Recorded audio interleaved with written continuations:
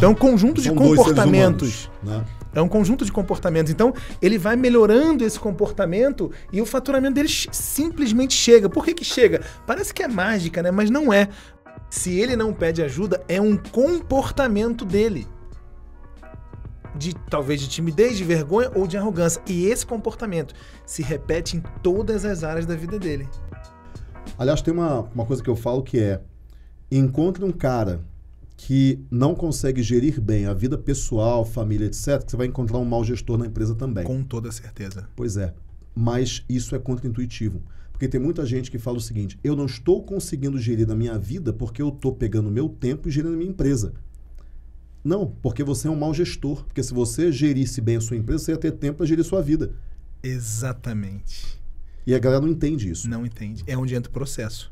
Porque o processo faz pessoas medianas fazerem grandes coisas, né, cara? É isso aí. Gente, é uma loucura isso. É. Exatamente. E ele acha que ele é o bonzão, né? É, ele fala, cara, eu tô Porque aqui trabalha pra caramba, né, cara? na minha Porque vida, esses dias eu na tava- minha empresa. Tava conversando com meu marido sobre isso. De quê? Sobre isso, sobre como gerir o tempo de casa e o tempo da empresa. E que eu, literalmente, para poder beneficiar e ter tempo de qualidade com a minha família, eu bloqueei algumas outras ações na vida e eu tô bem com isso, porque é tempo para família e tempo para empresa. E outras pessoas não conseguem entender. Exatamente. Tem uma coisa que eu gosto muito da Renata. Às vezes eu mando mensagem pra ela, ela não me responde. Porque não era o horário de mandar mensagem, porque eu lembrei. Ótimo, é exatamente isso. E tá tudo bem. E tá tudo bem. Porque tá combinado, né? Exato. Cara, vai me responder E tem maturidade emocional também, Beleza. né? E tem maturidade emocional Sim, também no meio, né? sim. Porque se não tiver. Não, e assim, cara, eu mando mensagem pra ela e falo, cara, ela deve estar com a filha dela, deve estar com a família, tá tudo certo. Eu só lembrei de uma parada, não tem pressa, ninguém vai morrer se não Sim, responder aquilo. sim, sim. Três horas depois, geralmente, tipo, sei lá, nove horas da noite, dez horas da noite, ela, ó, Conrado, vamos ver isso sim e tal, não sei o que. Aí, beleza. Em algum momento ela pegou o celular, botou as mensagens em dia e ok. E é isso. Pus minha filha pra dormir, olha o celular, Aí sim, olha o né? celular e eu posso dormir tranquila. É isso. É exatamente isso. A gestão de vida e a gestão da empresa, elas caminham lado a lado. E aí tem muito cara que coloca a responsabilidade de não gerir da própria vida no tempo que ele tem que gerir a empresa. Mas, cara, se você não é o gestor da sua vida, você é não é o gestor da empresa também. Não porque a gestão da empresa permite que você tenha tempo para você gerir a sua vida também. Exato. Uma coisa leva a outra automaticamente. Então não dá para colocar desculpa, porque você é o elo. Ou seja, você é um mau gestor, ponto. E eu, cara, eu já fui esse mau gestor. É, hoje eu sou um pouco melhor, mas, cara. E eu botava Até morreu o processo, cara. Não tem fim. Isso, não tem fim. Não tem cara. fim. Pra quem quer viver um vidão de verdade, não tem fim, cara. Isso. Uma outra coisa, Conrado, que eu lembrei aqui enquanto vocês falavam, o sono, as pessoas estão se acabando porque não dormem. Cara, tem estudos, busquem estudos, cara, tem cada coisa incrível sobre o sono. Você precisa dormir, você precisa largar o celular antes de deitar na cama, deitar com o celular na cara, é tela, é dia, teu cérebro tá produzindo cortisol, tá produzindo. Cara, meu Deus, assim, uma coisa que eu aprendi a respeitar, Conrado. Cheguei no quarto, coloco meu celular longe da minha cama, porque antes ele ficava na cabeceira do lado, eu coloco ele num outro lugar que fica 3 metros de distância, deito e durmo. Não tem televisão no meu quarto. Quando eu vou pro quarto é para dormir. Tá legal. É isso. Então, assim, e 8 horas de sono, cara. E outra, dormir com o estômago vazio. Uma experiência que eu tô vivendo incrível. 6, 7 horas, última refeição, não como mais nada, uma água, um chá na hora de dormir e acabou. Cara, isso mudou minha vida. Você acorda de outro jeito. De outra tem- forma. Tem duas coisas com relação ao sono que mudaram a minha vida também. Isso aí, beleza. Eu janto ali sete, sete e meia, às vezes eu janto oito e meia, tá, mas Não, aí de vez em quando sai pra né? jantar, é, aí deu natural, nada radical mas funciona muito, é por né? aí. Mas também ar-condicionado 24 graus, lençol e manta, blackout. Isso. Cara, E os estudos dizem, Isso sabe o quê? tudo. Sabe o que, que os estudos dizem? Primeira coisa que você tem que fazer quando levantar, abrir a cortina. Sol na isso, cara. é isso Aí o teu cérebro entende, opa, começou o dia, vamos embora. Começa bora a lá. produzir adenosina, que é a química que faz a gente dormir no final do dia, né? A adenosina ela vem, sobe, sobe, sobe, sobe, sobe, sobe, sobe, sobe, sobe, até você dormir. Aí quando você dorme, ela. Hum, aí não você abre, disso, é, né? aí você abre o olho, ela começa a produzir de novo. Então, o nosso. Cara, o sono é químico. Quando eu descobri isso, eu falei, para. Eu não vou ficar mais até de madrugada. Não que eu não fique nunca. Eu saio às vezes no final de semana pra jantar, tomo um vinho, durmo mais tarde, como mais tarde. O que eu tenho feito muito, cara, eu saio pra jantar, tomo um vinho, peço uma entradinha, não como mais nada. tomo meu vinhozinho ali sossegado, durmo. 8 horas, 7 horas e meia. Cara, isso mudou meu jogo. Eu acordo de manhã pulando da cama. assim. Com uma energia incrível, assim. É um negócio maluco. Isso é uma coisa também que o empreendedor fica até 3 horas da manhã vendo Netflix. Come feijão com macarrão, 1 e meia da manhã. Como é que ele quer acordar? Como é que ele quer acordar? Ele vai acordar ferrado, não tem como. É o conjunto de decisões daquele dia, comprovado cientificamente, cara. O humor muda, as decisões, cara. É porque o, quando você está dormindo, o teu cérebro faz uma limpa Exato, órgão- você acordar bem. Pra quando você acordar bem.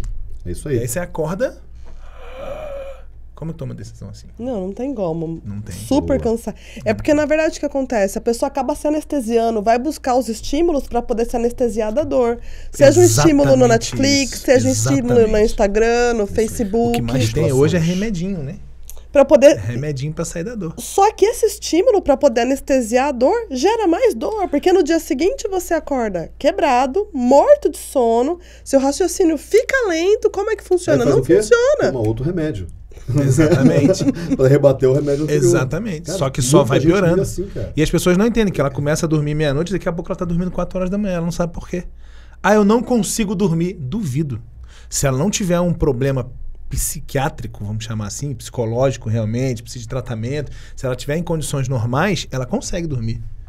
Porque Sim. ela vai deitar a cabeça no travesseiro, uma hora vai dormir, cara. É Não, químico. Na verdade é. É só você acordar 5 e meia da manhã. Exato. Acabou. Ou fica uma noite sem dormir. Fica uma noite sem dormir, eu quero ver você não dormir na outra. Não tem como, né? Porque é químico, vai Não, acumular delícia adenosina. acordar às 5 e meia da manhã. Você estuda, dá É. tempo de fazer um monte de coisa. Mas até entender isso, né, Renato? Demorou um tempo na nossa vida, né, cara? Demorou E é um tempo. processo, então entrem no processo, é o que eu diria. Cara. Então vamos lá. Existe a mentalidade, existe a saúde, Uhum.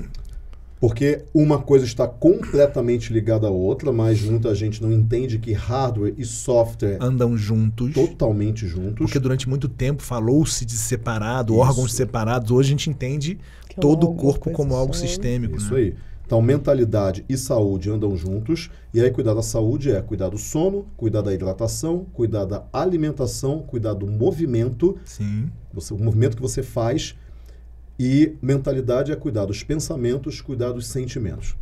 Então, com isso, a gente consegue ter um caminho aí razoável. Porque é aquela Sim. história que eu falei antes. O cara fala, eu nem sabia que existia isso, por onde que eu começo? Exato. Então começa se alimentando melhor. E se alimentando melhor, eu poderia falar muito tempo aqui, porque eu adoro esse tema. Se eu também, eu, eu tirei a farinha em 2012, tô, não tirei 100%, porque no Brasil é quase impossível você ficar sem nada de farinha, mas eu tenho tirado cada vez mais, assim. Já não É. como arroz, macarrão, pão, Refrigerante, feijão. álcool, farinha, açúcar, Fritura. A gente vai falar. fritura. E, um outro, e uma outra coisa importantíssima que a gente deixou passar, mas eu lembrei. Ler. Cara, literatura. Ler um livro. As pessoas ficam. Ah, mas eu não consigo porque eu durmo. Mas tu consegue ficar vendo Netflix até 4 horas da manhã. Isso, é isso aí. Cara, então pelo menos assiste documentário, sabe? Pô, não vai assistir outra coisa, nada contra. Eu adoro um filme de ação, de investigação. Mas já que você não consegue ler, cara, vê um podcast que nem esse aqui, cara. Assiste um negócio desse, pega conteúdo, conteúdo de qualidade.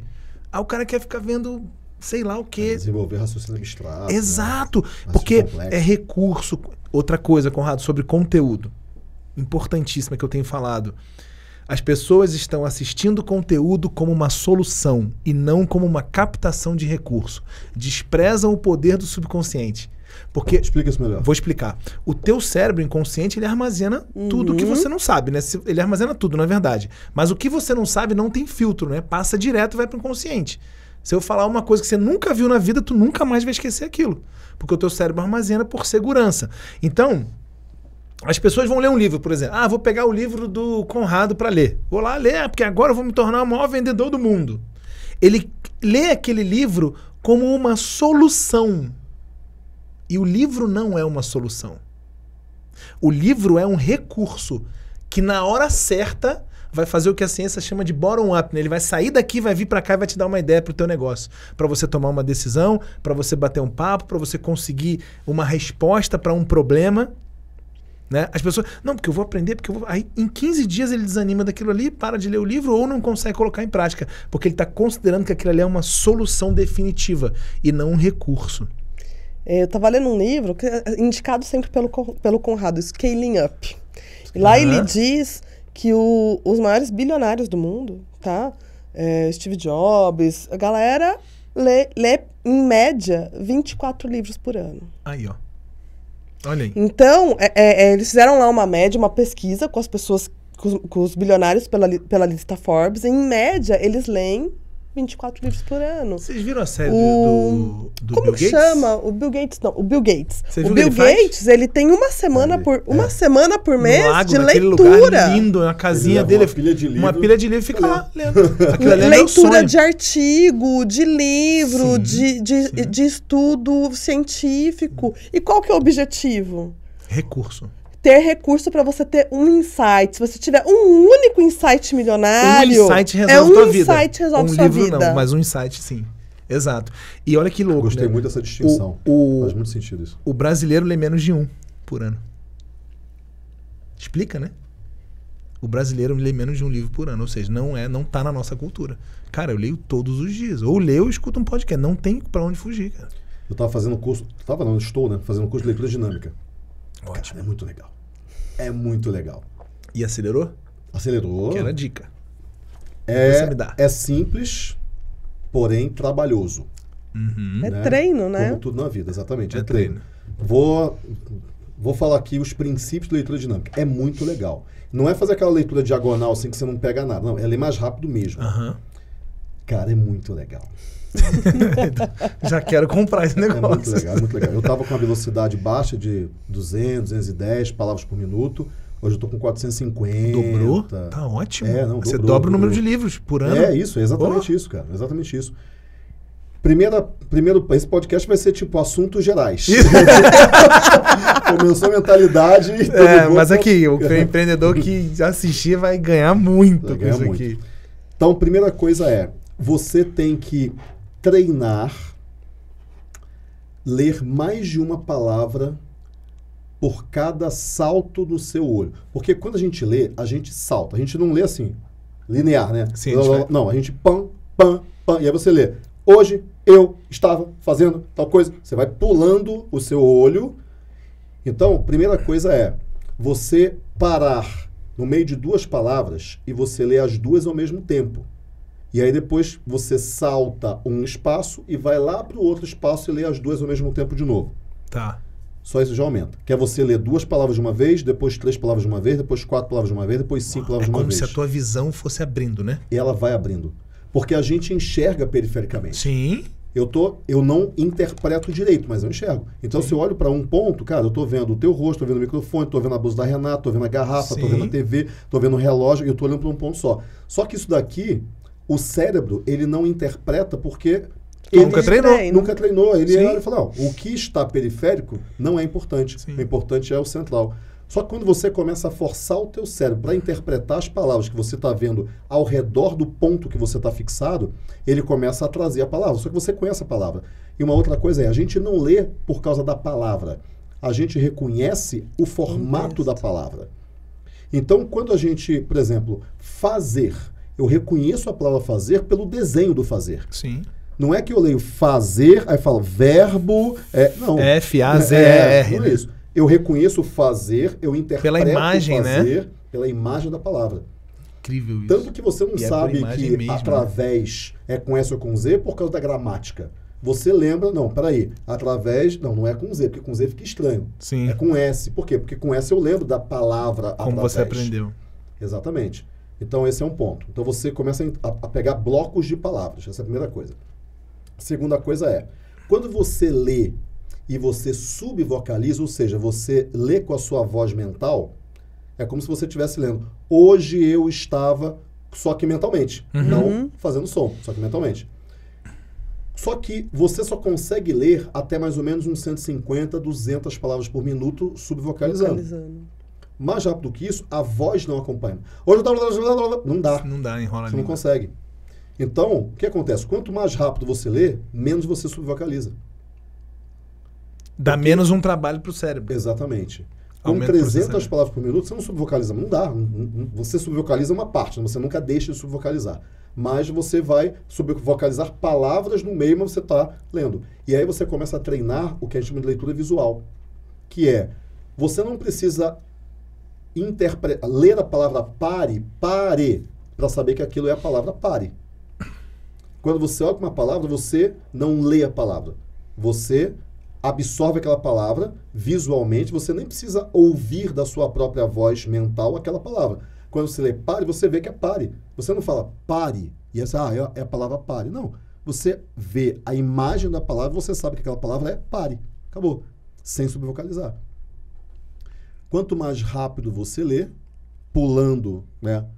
E você diminuindo as pausas oculares, porque agora você não precisa pausar a cada espaço de palavra. Você pode ir de dois em dois, ou de três em três, ou de quatro em quatro. Ou dar duas pausas por linha e você absorve as palavras que estão ali no meio.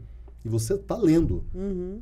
Só que aí você começa a treinar o teu cérebro para subvocalizar menos e começar a olhar a palavra, saber o que está escrito mais pelo seu visual e não pelo seu ouvido. Porque como é que você faz a leitura? Você vê, você repete e aí depois você interpreta. Mas se você ver, você não precisa repetir, porque se você vê, você interpreta, porque Já você tá lá. Tá lá, Já exatamente. Tá lá, já tá lá. Cara, é muito legal. Eu quero fazer isso. É muito legal. Eu, Eu ia falar de filosofia aqui sobre isso, mas deixa para outro dia. Cara, é muito legal. É muito legal, é muito legal. Assim é. E depois que você começa a ler dinamicamente, né? Você começa a ler com menos pausas oculares, pegando blocos de palavras, não uma palavra por vez. Não dá mais para você não ler assim. E quando você está lendo devagar, você olha e fala, nossa, tá muito devagar. Por quê? Porque eu estou subvocalizando, estou lendo palavra por palavra. Você vai entendendo por quê, né? Exatamente. E Incrível. aí você vai. Qualquer leitura é treino. Eu quero aprender, porque assim, cara, eu vou ler o dobro. É o superpoder. Só o dobro. Só o dobro mesmo já tá ótimo do que eu leio hoje. Se eu ler o dobro no mesmo tempo, ó. Bom, se você quer figurar entre a Forbes, pelo menos dois livros por mês. Eita, fé. Vamos, tra- vamos trabalhar. E tem que botar na agenda, tá? É que quando eu não ponho na agenda, eu não consigo ler. É? Tem que estar tempo de leitura. Ah, Esses últimos tempos, não tá na agenda. Cara, eu tô conseguindo ler de noite, assim, meio esporádico. É. Antes eu botava lá, cara. Eu acordo agenda. 7 horas, banho, leitura, trabalho. Não marco nenhuma reunião pra antes das 10. Acabou. Legal. Fiz assim.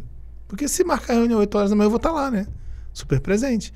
Mas quem disse que tem que ser 8 horas da manhã a primeira reunião? Não pode ser às 10? No nível que eu tô hoje, já pode. Então, 10 horas, aí eu acabo de ler, tomo café e vou trabalhar. Então, foi uma decisão, porque, cara, se eu não leio, a minha criatividade faz isso aqui, ó. É impressionante, cara. A minha, Despenca. Cara, despenca, Conrado. Des- Se eu parar de ler, cara, assim, eu paro de, sei lá, paro de viver. Porque, cara, é bizarro. Tem uma outra coisa também que a leitura ajuda muito. A leitura é um texto estruturado. Uhum. Uhum. Quando você lê, você treina o seu cérebro para se comunicar da maneira como você está lendo, de maneira estruturada. Então, por exemplo, quando isso eu nunca tinha pessoa- pensado. Cara, Incrível. isso é muito bacana. Quando Incrível. uma pessoa lê muito, Por isso que a gente é professorzão, né? Exatamente. Quando a pessoa lê muito, ela estrutura o texto mentalmente para depois falar o texto. Ela e a gente sai começa a ter a prática. volta. A gente começa a ter a né? prática de fazer o que a gente está fazendo aqui, né? Isso. Falar sobre um monte de assunto de forma estruturada, porque as pessoas estão De entendendo. forma estruturada. É isso daí. O texto é Incrível. estruturado. Com lógica. Com Incrível, lógica. cara. Passo A, passo Começa a B, escrever C, melhor. e eu- tem, exatamente. tem muito ganho, né? Não, tem cara, muito tem ganho, muitos tem ganhos. Melhor, melhor a oratória. É, eu não conheço, eu não conheço ninguém que saiu da pobreza como a gente, não sei a história da Renata, e ficou rico sem ler. Eu não conheço. Eu conheço, mas eu conheço muito poucas pessoas. Exceção, né? Exceção da exceção. É, a Mas grande assim, maioria. E é, é um empresário, vou falar o nome dele aqui. O cara é muito inteligente. O cara tem 24 anos. 24 anos? 25 anos agora, É. né? 26 anos. Alguma coisa assim. Um cara mega inteligente. ele Nossa, fala, muito inteligente. Muito. Muito, inteligente. Então o assim- pai e a mãe leram muito, né? Vê no DNA, talvez. que Não? Acho que não. Não, é do Mas, cara é- mas ele, ele, ele, ele teve, ele teve essa formação em algum lugar, tá, Conrado? Pode ser. Alguma coisa formou ali, porque é muito fora da curva. Ele tem um nível de maturidade de um cara de 40 anos maduro. Pra negócios. Entendeu? E pra vida também, cara. É. E pra da onde também. veio, né, cara? Da onde veio. Tem que olhar. Olha. tem que olhar, né? É, é isso tem que estudar o rapaz. Olha, eu fico impressionado, assim. Ele, ele, se ele ouvir esse podcast, ele vai saber que eu tô falando dele. Legal, legal. Daí ele fala, ah, eu não leio e tal, cara, eu não leio o livro. Eu aprendo pela minha experiência prática. Eu aprendo observando. É isso que ele fala. Eu aprendo observando, eu É um aprendo privilégio. Ah, Mas ele tá sempre estudando. Vai num evento aqui, Talvez vai no seja- outro ali, eu escuta lembro, o né, podcast. mas, mas hoje em dia você Porque tem o muita- conteúdo do YouTube, né? É, hoje em dia você tem muito conteúdo disponível que não é necessariamente a. Exato. É verdade. Que é um Então, grande privilégio para as pessoas dessa época, né? Muito podcast que você pode escutar só o áudio Sim. treinando, você de tem graça, né, YouTube. então é muito difícil existir algum conhecimento que não seja distribuído gratuitamente hoje. Basta você querer ter E acesso. conhecimentos bons. Conhecimentos bons. Profundos, gratuitos, que não tinha na nossa época, né, Conrado? É isso aí. Nossa época era osso demais, né? Era osso, cara. Nossa, Era era osso. A gente- Era osso, era osso. E aí agora a abundância de conhecimento que tem e as pessoas adoecendo ficando mais pobres. Só porque não É. querem sentir dor. É porque não é o conhecimento, né? É, É, é o comportamento. é o comportamento. O comportamento não mudou. O conhecimento aumentou, mas o comportamento não, não, mudou. não mudou. Então não adianta ter conhecimento. Não mudou. né? É, vamos voltar lá, falando agora, vamos voltar lá no comportamento empreendedor. Qual é o comportamento empreendedor aqui pra gente dar uma resumida pra nossa audiência? Legal.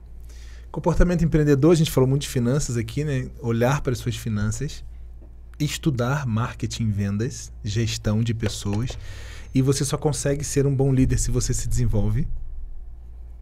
É, você só consegue ser um bom líder se você for um bom liderado. Exato. E para você ser um, um bom liderado, você tem que ter alguém te ensinando e você tem que ter a humildade diante da ignorância que você tem, né? Diante do conhecimento que está chegando, né? E uma outra coisa que eu acho incrível sobre a dor, que a gente falou muito também, né, Rê, que é aceitar as dores da vida. A vida não é o que mostra no Netflix, o que mostra na novela, no, no- na Disney. A vida é a dor e o medo fazem parte da nossa vida, mas as pessoas insistem em olhar de forma diferente. E isso é não aceitar a vida como ela é, é desejar uma vida diferente do que é a vida de verdade, Aliás, esse é o maior motivo de frustração. Pra mim. A pessoa Sim. querer estar em um lugar que ela não está ou ter uma realidade que ela não tem. Exato. E aí, E parecer quem ela não é. é, parecer que ela não é, exatamente. É, o, é, é- é a, a realidade a expectativa distante, né? A pessoa fala, ah, no meu tempo era bom. Cara, já foi o seu Já tempo. foi, O meu seu querido. tempo é esse Ah, aqui. o Instagram não Aquele entrega tempo já mais. era. Oxe. O, o tempo novo é esse aqui. Aqui tem que ser bom. Ah, ou então, ah, eu queria morar em outro lugar. Você não mora em outro lugar. Você mora nesse lugar aí. E isso é olhar pra verdade. É, exatamente. Né? Tipo, é o que é. É isso. Né? It is that it is, né? Que tem um livro chamado It is that it is. É o que é, cara. É o que Acabou. é. E é assim, e é o que é mesmo. A vida é assim. Tu vai se arrebentar, daqui a pouco você vai estar bem, daqui a pouco você vai se arrebentar de novo. Só que as pessoas querem viver uma vida linear. Cara, linear é a morte.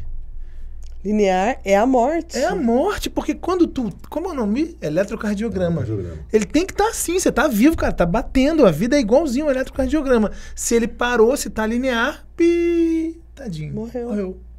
Não tem mais vida. Mas elas buscam isso, uma vida linear, sem problemas, não me toque, não mexa comigo, eu quero ganhar dinheiro, mas eu quero que seja. Cara, eu já tive mentorado que eu tive que brigar com o cara. Falar, cara, tu não tá entendendo que você tem que atender o cliente do jeito que ele quer, não do jeito que você quer. Cara, tem gente que triplicou o faturamento. De eu falar assim: olha só, cria o produto que o cliente quer a partir de hoje. Temos um combinado? Temos. Eu vou entregar o que o cliente quiser. Eu falei, então tá bom. Ele presta serviço, tinha várias maneiras de entregar o serviço. Por exemplo, essa sala aqui pode ser a luz vermelha, pode ser verde, pode ser azul, pode ser amarela. É a mesma coisa eu chegar aqui, você fala assim, não, eu quero que a luz seja vermelha. E o cara fala, não, mas a gente só tem luz amarela hoje. Tá, mas eu quero vermelho, eu sou o cliente, eu quero vermelho. Entende? Ele queria entregar um pacote que estava na cabeça dele, porque ele não aceita a vida como, é, como ela é. Entende isso? Aí o comportamento se repete. Então ele queria entregar, não, mas eu tenho isso aqui, é assim que eu vou vender. Falei, então tá, então confia em mim. Tu confia em mim? Confia. Então, tu, a partir de hoje, se o cara quiser fazer três pulinhos mais três pulinhos, tu vai entregar os três pulinhos mais. Tá bom, então eu vou entregar. Triplicou de faturamento. Por quê? Simplesmente ele aceitou a vida como ela é. Massa. Discordância, cara. Cara, discordância é um problema bizarro. Discordância. Pode anotar isso aí, Renato. Discordância. As pessoas discordam de tudo hoje. É bonito discordar, Conrado. Eu nunca vi isso. Tá ficando cada vez mais bonitinho. Eles estão romantizando o discordar. Eu discordo disso. Cara, só que a discordância faz o mal pra você. E você não sai do lugar, Não você fica sai debatendo, lugar, não consegue ir pra lugar É nenhum, porque você isso. tá discordando por conta E- de coisa que você e- não te interessa. e não vai mudar nada na tua vida. Ah, eu discordo do governo. Tá bom, cara, o governo tá aí, tu vai ter que fazer o que tem que ser feito, continuar pagando imposto. Eu discordo do que você tá falando, porque eu acho que. Não sei. Cara, tá bom, cada um tem um ponto de vista. A gente pensa igual aqui, todo mundo. E Não. que você vai fazer o que com isso? Nada! Aí discorda, discorda, perde tempo discordando, grupo de WhatsApp, discussão. Ai, eu gente. faço isso, eu faço. Só de mas pensar você. isso. E aí, o que que acontece? A tua vida tá passando, cara. Você está gastando energia onde não, deveria gastar. Nossa. E sendo super improdutivo, porque Não, mas esse é tipo, muito tipo de improdutivo. coisa te consome. Isso te irrita, tu leva Te pra cama. irrita, é uma energia, você não dorme mais. Pra quê? Às vezes minha mãe fala. Cara, minha mãe tem mais de 80 anos, né? Então ela fala algumas coisas que, cara, pra mim não fazem nenhum sentido. E eu simplesmente falo, tudo bem. Concordo. É isso não aí. encaixa na minha vida, mamãe, mas eu concordo com a senhora. Você é grande, eu sou pequeno, é isso. Simples assim, cara. Mas a minha avó falava uma outra coisa pra mim. Claro, tem coisa que a gente não concorda, não fala, mas ela, ela tinha um conselho pra me dar que eu levo até hoje. Escolha as brigas que você Isso. quer brigar. Não é qualquer problema que você vai se enfiar. Se tem um problema ali, olha, avalia se você quer brigar essa briga ou não. Se você não quer, deixa passar. Que vó inteligente. Vó super inteligente, Nossa, né? sábia. De- Então Exatamente. escolha, escolha quais Sim. são as brigas que você quer não brigar. vale. E hoje todo mundo briga por todo mundo. Cara, tipo assim, no meu grupo de mentoria, eu proibi. Foi uma proibição. Eu falei, cara, galera, aqui Proibiu treta. Proibi falar de política e religião. Ah, é, não é treta, é. É, treta. é, é. Eu Proibiu proibi, cara. A gente passou por essa eleição sem falar nada. Um grupo de 26 empresários, cara. Foi lindo. A gente também, né? É, lá no norte lá, eu acho que Não falou nada. quando alguém começa lá, fala, galera, Não, não, não. É, nem começou lá, porque eu fiz uma reunião só pra isso. Por que que acontece? Tem uma narrativa de um lado, uma narrativa do outro. As pessoas não sabem nem o que que é narrativa, que elas estão embarcando numa narrativa que é pra ela ser enganada. De um lado, do cara, não importa, é a narrativa, né? E as pessoas vão sendo levadas por não é isso. né? É, cara, e ficam sendo Narrativa. levadas por isso e, cara, brigam com a família. Meu Deus, não. É isso. Discordar, assim. Eliminar o discordar da sua vida é uma boa dica É, para o o empreendedor. discordar, o reclamar, né? Que é, no final das contas é o discordar também, né? Uhum. A questão Consequência, de falar né? mal dos outros, Nossa, incrível. que ainda tem gente que está nesse nível de jogo ainda. Muito. Eu vejo que a gente fala de comportamento empreendedor de sucesso, né? O, o- existem diversos níveis de sucesso, né? Então tem o sucesso do cara que faturava 1.500 reais fazendo tudo errado e agora ele fatura 10 mil fazendo muita coisa errada ainda, mas algumas coisas ele já deixou de fazer, né? Sim. Ele teve sucesso. Aí teve o cara que foi para 30 mil. Cara, ele fazia um monte de coisa errada, ele deixou de fazer uma, duas, três coisas erradas, foi para 30 mil. Mudou o comportamento. Pois é, e aí vai, né? E aí vai para 50 mil, 200 mil, 500 mil, 1 milhão, 5 milhões, 20 milhões e por aí vai. Só que o, o comportamento empreendedor de sucesso, na realidade, ele tem. Esse sucesso tem níveis, né? Sim. Não existe um comportamento só. Existe, eu acho que existe algumas, alguns procedimentos que eu diria que é, primeiro, olhar para a verdade, concordo 200% com isso, olha para a tua verdade, identifica o que está funcionando, identifica o que não está funcionando, olha para o que não está funcionando, entende por que não está funcionando, olha para o que está funcionando, entende por que está funcionando, entenda os motivos, e daí você começa a fazer alguns testes para melhorar o que não está funcionando ou eliminar e para potencializar do que está funcionando. E aí você repete o ciclo. PDCA, melhoria contínua. Kaizen, seja o nome que for. Uhum. Yin Yang? roda de Sansara. né? Lembrei lá, de uma coisa tudo. aqui. Mas é o círculo contínuo. Lembrei de uma coisa. Parar de querer mudar o outro. Cara, isso é um problema muito sério no empreendedor. Ele quer mudar a vida do colaborador, ele quer. Cara, existem. A maioria das pessoas não querem mudar. E aí ele gasta muita energia querendo mudar o outro. Ele quer mudar o colaborador, mas o colaborador não muda porque ele não muda. Porque ele não é um exemplo. Outro ponto: limites. O empreendedor sofre muito com ser demandado, porque ele é um cara resolvedor de problema. Uhum. Então, muitas vezes, amigos, família, É verdade. Demanda esse cara na alma, gruda aqui no- e ele fica resolvendo. Ele passa o dia resolvendo o problema do primo, da cunhada, do cunhado, porque ele é um resolvedor de problema. Ele não sabe dar limite. A, a- a vida dele é uma terra sem muro, uma cidade sem muro. Todo mundo entra, faz o que quer e vai embora. E ele vira a agenda dos outros. Cara, isso é um problema que eu vejo se repetindo na vida do empreendedor assim muito. É porque, eu- como empreendedor não é vitimismo, vitimista, ele, ele rapidamente resolve problemas que para o outro demorariam Exato. uma vida para resolver. ele não sabe dar não. Gostei muito Aprender a falar não. muito Aprender bom. a falar não, Conrado, é uma mágica, é a melhor coisa que a pessoa pode. Ah, mas eu vou me sentir um egoísta. Sim, no começo sim. Você vai se sentir um filho da mãe egoísta. Mas depois a sua vida vai melhorar tanto, você vai falar, meu Deus, por que, que eu não fiz isso antes? É isso aí. Porque Legal. passa a sobrar tempo, né? Exato. energia. Energia. Para a própria pessoa. Sim, muito mais pra Porque ela. a- se você for olhar, a gente fica na empresa. a gente fica o dia todo doando, se doando para todo mundo. Sim. É o E você só tem um pacotinho. muita doação de energia. Sim, você só tem um pacotinho por dia. É. Você escolhe pra quem você quer dar. Cara, eu aprendi isso. E a gente tem as 8 horas de sono para repor essa energia. Não tem. Acabou, acabou. Exatamente. A minha agenda é aberta. Eu vou fechar ela. É, a gente tem que tomar muito cuidado com isso, cara. Eu Ah, aprendi tipo, isso num livro. agenda aberta. E assim, eu, eu comecei a dar limites hoje, eu comecei a dar limites em 2016. Hoje, sem brincadeira, cara, eu, eu tô aqui, sei lá quanto tempo, meu WhatsApp, eu vou chegar ali e vai ter três, quatro mensagens. Não vai ter um. um porque É que ninguém não- me demanda não mais. Olha o meu, vou até E deixa eu falar o meu uma celular. E deixa eu ensinar uma coisa pro empreendedor aqui, porque tem muita gente que fica com medo de ser desprezado pelas pessoas queridas. Porque quando ele começa a dar não, as pessoas punem ele. Lembra da história da vaca? Lembra? Da vaca do precipício? Na- do- vaca? não, da vaca que você fez um áudio uma vez de 14 minutos. Cara, não esqueço aquilo nunca mais. Vaca ou da galinha. Não, vaca. Isso eu tenho certeza que era vaca. Tá. Um dia eu te mando esse áudio, Tá. se eu achar ele. Aqui. É faço assim, ó, Mas qual É, o contexto? Só pra lembrar, qual o contexto? O contexto é uma vaca que estava querendo sair do Sei. curral para fazer verdade, diferente. Não era uma vaca, era um boi. Ah, eu lembro da vaca. Tem problema, não pode ser. Era um cercadinho dos Isso, bois isso aí. grama. Aí um boi fala, vou, Vou embora. Isso, isso aí. E aí ele se lasca. Um áudio de 14 minutos. Isso aí.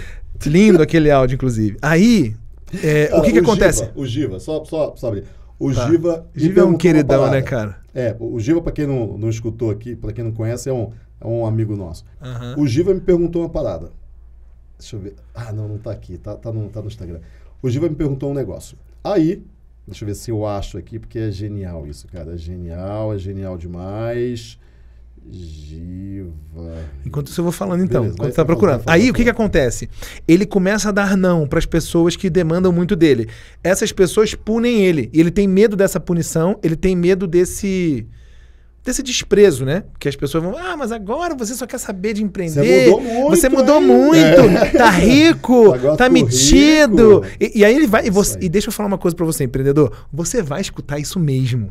E tá Uhum. tudo bem quando você escutar isso, porque depois eles vão voltar pra te falar: nossa, o que, que você fez? Que você tá diferente, né? Que é o que o Flávio fala lá do, do tapinha nas costas. Então, você vai passar por esse processo, ele demora de seis meses a um ano, mas você vai começar a ter Ó. muito tempo. Eu vou mostrar aqui a mensagem que o Giva mandou no, no WhatsApp. Assim, é, tá aqui, ó, a pessoa não tá Aham. vendo aqui, mas é a mensagem do WhatsApp e do áudio que eu mandei pra ele. Ele me fez uma pergunta. ah, Conrado, bom dia, eu tudo bem? Tudo bem por aí? Você mandou um áudio de 11 minutos? Não. E quando você pergunta algo pra uma pessoa que você confia muito e ela te manda um áudio de 23 minutos? Cara, eu respondi o Giva dando muita risada nisso aqui. Porque foram exatamente 23 minutos e 14 segundos. Eu mandei um podcast pra ele. Eu não mandei um áudio. Mandou um podcast. o meu pai venceu. O meu pai me mandou um áudio de 42 minutos e 57 segundos. Cara, né, foi, foi E um eu- recorde. Na verdade, o recorde foi de não tocar o telefone no meio, né? Esse foi o recorde. Né?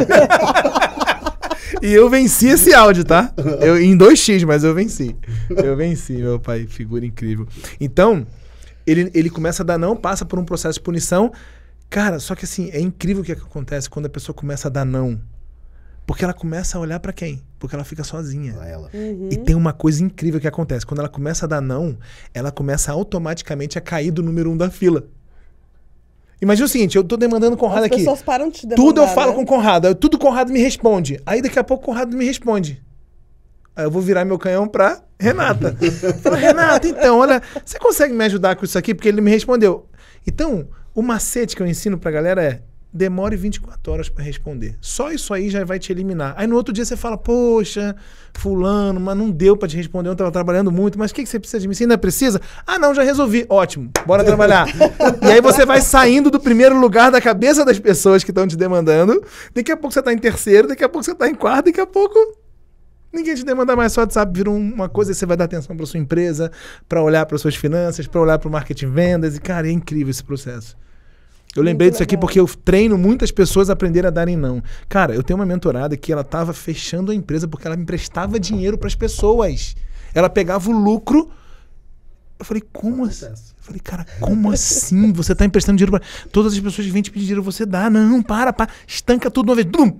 Cara, recentemente bateu recorde de vendas, está arrebentando, está crescendo. E, e, todo mundo falou mal dela e aquela coisa. Mas ela suportou, porque dói. Isso acontece. Porque normalmente são pessoas acontece. que a gente ama, né, cara? Não, são qual, não é qualquer pessoa, né? Exatamente, Normalmente são pessoas que a gente tem um carinho especial. Mas, assim, uma garantia que eu dou: todas as pessoas que eu vejo passar por isso comigo foi assim: você passa por um processo de punição de seis meses a um ano, depois volta. Todo mundo volta, fica tranquilo que volta. É, às vezes não demora seis meses a um ano, demora é? menos. Ah, às vezes, às vezes é menos. Já, já fiz isso, demora menos. já deu muito não, né, Conrado? É, comecei, né, cara? Na verdade, eu sou um cara que dou não, né? Eu já, já dou não há muito tempo. Mas é, eu, cara, eu, meu Deus. Você vai... Eu acho que eu dou mais não do que sim hoje. É, assim, você dá o... Primeiro são aqueles não óbvios, eu tô na, né? Eu tô na avó da Renata aqui sempre. Na avó da Renata. tô na avó, como é o nome da avó? Dona Penha. Dona Penha. Eu tô com a Dona Penha e não abre. Assim, oh, tum! Ó, até aqui você pode ir, meu querido. Até aqui, aqui não vai, não, não insiste, ó. E é isso. É, tem os não óbvios. Sim. Tem os não não tão óbvios e tem os nãos que não são nada óbvios. E tem aquele surpreendente que você fala, mas esse cara tá falando isso pra mim? Tipo, né? Aí você tem que falar, oh, que, de onde você tirou isso? É, né? não, tem um não óbvio. Limites, cara, Ser limites. do meu apartamento vai ser um não óbvio. E... é um não óbvio. Você tem que dar um jeito, mas é um não óbvio. Você é. sabe que você vai dar não. Só tem que descobrir como você vai dar o um não, né? Sem machucar a pessoa e tal, etc. Mas, Mas existe o é, não, não óbvio. É né? duro, né? Porque a pessoa te pede as coisas com tanta naturalidade que você fica constrangido muito de falar constrangido. não em algumas vezes. O começo é muito difícil. Poucas pessoas conseguem fazer isso. Agora é libertador. O não é libertador. Isso aí. Libertador. O negócio é que quando você fala não pro outro, você tá falando. É, sim para você. Quando você fala não pro outro, tá falando sim pra você. E o contrário. Quando você e fala o contrário. Sim pro outro, você tá, tá falando não pra sua vida. Pra sua vida, exatamente. Não pra sua vida. Muito bom. Muito bom. Muito obrigado, viu, pelo convite. Foi um prazer. Quatro horas, né? Ei, a gente gosta, né, Conrado, de falar. Tem água, a gente fala aqui, né? Quatro horas falando aqui. Muito bom. Eu vejo o seguinte: o trabalho que você faz, Gustavo, aqui pra gente finalizar, eu acho muito bacana porque é o trabalho de mentoria do negócio, mas é muito trabalho de mentoria do empresário. Do empresário da cabecinha do empresário. É, porque é isso que influencia o negócio dele. Sim, e foi assim que aconteceu comigo, a minha jornada, né? Eu tive que mudar muito como ser humano para chegar onde eu cheguei. Uhum. Então é muito sobre mim, né? A minha jornada, eu entrego, eu digo para eles que eu entrego a minha jornada. É muito legal. Os livros que eu leio, as coisas que eu aprendo, os meus mentores, né? Então eu entrego a minha jornada para eles, para que eles possam alcançar a jornada deles. Né? Muito, bom. muito bom. Obrigado. Como que a gente vai chamar esse podcast? Assuntos aleatórios com o Gustavo Coelho. Comportamento empreendedor. Comportamento empreendedor. Eu gosto. Beleza, então vai ser isso. Comportamento empreendedor. Ok? Ok. É isso! Chegamos ao final aqui do nosso podcast. Um grande abraço e até o nosso próximo episódio. Tchau, Muito tchau. Bom. Tchau, galera.